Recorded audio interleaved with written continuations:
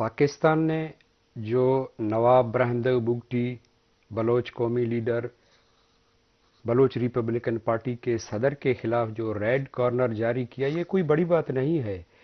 کیونکہ پہلے تو اس کو سوچنا چاہیے کہ کیا وہ دودھ سے دھلا ہوا ہے، جو اس کے پاس ٹیررزم کی فیکٹری ہے۔ جتنے بھی ٹیررزم ایکٹر ہیں، جتنے بھی لوگ ہیں، وہ وہیں پہ ہیں، پاکستان میں ہیں۔ پاکستان سب سے پہلے تو یہ دیکھے میں کسی کے خلاف جو ایک چیز کرنے جا رہا ہوں، ریڈ کارنر کرنے جا رہا ہوں، پہلے تو اپنے گریبان میں جا کے کہ اس کی سرزمین جو ٹیررزم کے ساتھ ناپاک ہے، جو پورے دنیا کے لیے ایک دہشت کی علامت ہے، پورے دنیا کے سکون کو تباہ برباد کر کے رکھا ہوا ہے۔ تو پہلے تو وہ خود سوچے کہ میں کیا ہوں، میرے پاس کیا ہے اور میں کس عمل کو آگے لے جا رہا ہوں۔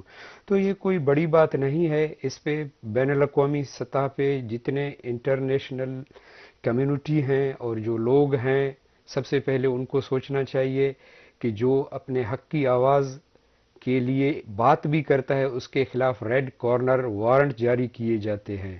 سب سے پہلے انڈیا جو ہمارا پڑوسی ہے، ان کو سوچنا چاہیے، دیکھنا چاہیے، اس اس کو ہائی لائٹ کرنا چاہیے پورے دنیا میں جو ایک مظلوم قوم ہے وہ صرف اپنے حق کی بات کرتے ہیں، اس حق کے بات کو کہنے کے اوپر بھی ان کے خلاف ریڈ کارن وارنٹ جاری کیے جاتے ہیں۔ تو اس پہ میں اپنا رد عمل دینا چاہتا ہوں، یہ کوئی بڑی بات نہیں ہے۔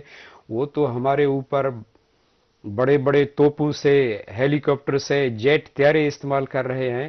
آج آج کی بات نہیں ہے، یہ پہلے بھی کافی ایف آئی آرز اور ریڈ وارنٹ جاری کیے انہوں نے۔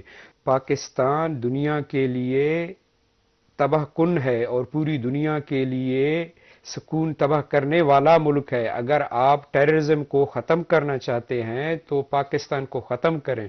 ٹیررزم خود بخود ختم ہوگا۔